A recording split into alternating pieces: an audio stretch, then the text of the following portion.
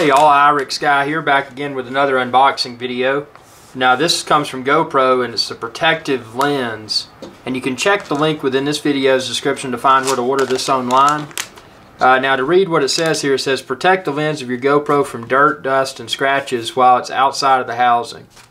Perfect for use with the frame mount or handheld shooting with just the camera and it says compatible with all Hero 3 and 3 Plus cameras, but obviously it'll also work with Hero 4, uh, which I'll be attaching it to the black edition Hero 4. Now I got these because when I mount my GoPro to the uh, uh, to the DJI Phantom 2 Zenmuse H3 3D gimbal that I use, the camera's just out there naked.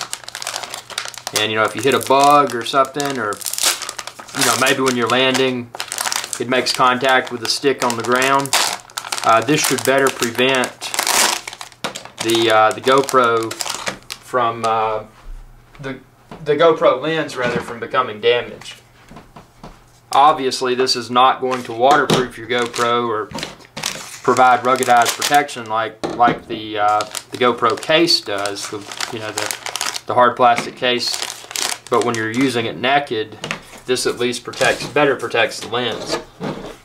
So you get two of them, which I think is nice. I'm only going to open one of them because I'm going to keep the other one in its in its protective case in case I need it.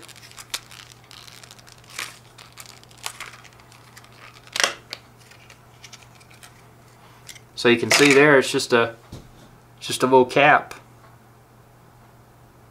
And what I'm going to do now, I'm going to make sure I don't get any dust in it. I'm going to sit it back in here and we're going to get the GoPro Hero 4 Black.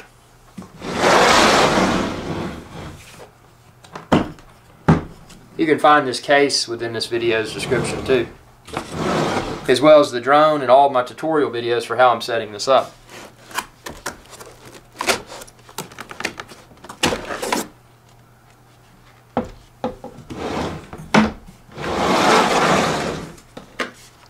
Okay, so this is my Phantom 2 version 2.0 and you can see now for transport I had the GoPro.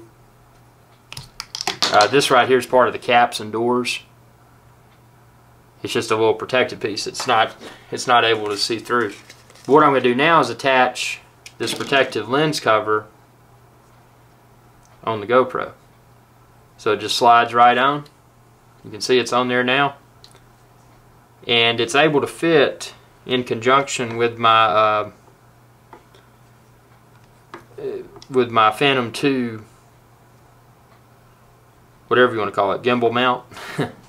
See that little black plastic piece that's holding the GoPro to the bottom of my drone? But see now I've got this protective lens cap on. So when I'm flying it better prevents dirt, debris, sticks, you name it. Better prevents all that from making contact with the lens so just a smart thing to get, especially if you're using your GoPro on a drone such as this. So thanks for watching. Be sure to subscribe if you haven't already, youtube.com forward slash irixguy. And share this video and any of my videos with others. Thanks for watching and y'all have a good day.